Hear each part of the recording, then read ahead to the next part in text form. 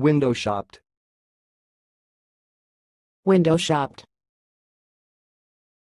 Window shopped. Thanks for watching. Please subscribe to our videos on YouTube.